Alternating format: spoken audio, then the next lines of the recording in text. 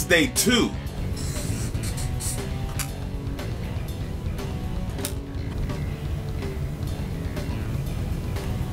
And yes, it's time to step into your power. We're gonna make this real quick today. Now, one of the reasons why many people quit or they give up and they don't reach their goals is because they're not really clear on their why.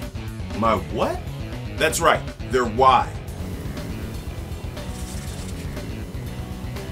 That's right. In order to move forward powerfully, in order to accomplish the things that you want to accomplish, in order to reach your goals, you've got to be really clear on why you want to do it, why you're doing it in the first place. And that's the problem with most people. They're not really clear on that. They're doing it maybe just because everybody else is doing it. They're doing it maybe because it might feel good just to that moment. But then when things get tough, when resistance hits, they quit and they give up because they do not have a strong enough why.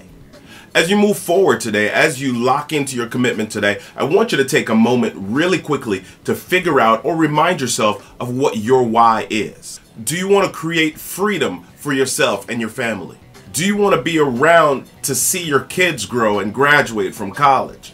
Do you want to be able to run with your kids without totally running out of breath? Do you just want to look sexy or is it just important to you to feel confident every day whenever you step into a room? Whatever your why is, be clear on it, be strong and confident about it, write it down, and then step into it. That's right, step into it. Step into your power zone. 28 days to a new you, 28 days to a new me. Step into your power.